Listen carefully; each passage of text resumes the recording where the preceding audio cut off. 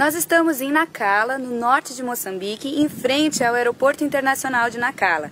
Esse é o segundo maior aeroporto de Moçambique, só fica atrás do aeroporto de Maputo, que é a capital do país. É um aeroporto super moderno, com capacidade para receber 500 mil passageiros por ano e voos vindos de outros continentes, inclusive voos vindos do Brasil. Esse aeroporto foi construído por uma empresa brasileira, a Odebrecht, e foi financiado por um banco público do Brasil, o BNDES. Então vamos conhecer esse aeroporto.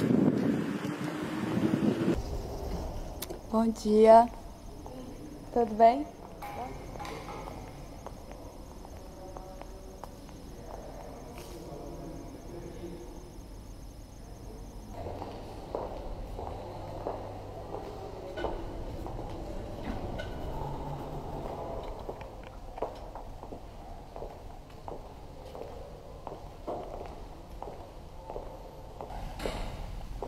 Neste momento não temos nenhuma partida, por isso que está tudo em silêncio.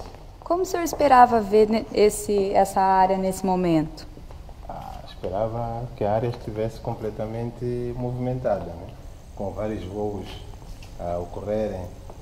E, infelizmente, neste momento não temos nada.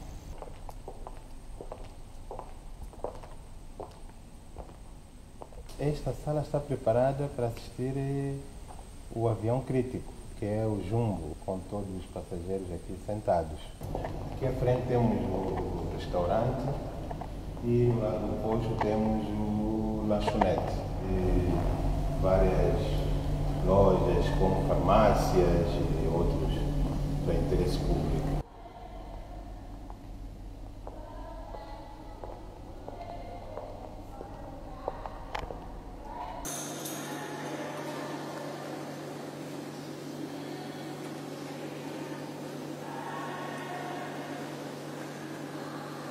Este aeroporto foi desenhado para um nível de conforto alto, né?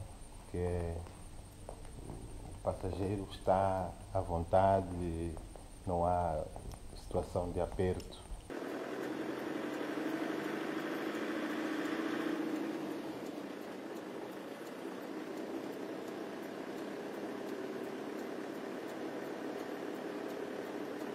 Eu tô aqui na pista do Aeroporto Internacional de Nacala. Não estamos correndo nenhum perigo porque não tem nenhum voo previsto para chegar ainda hoje. Mas a maior parte do tempo, essa pista longa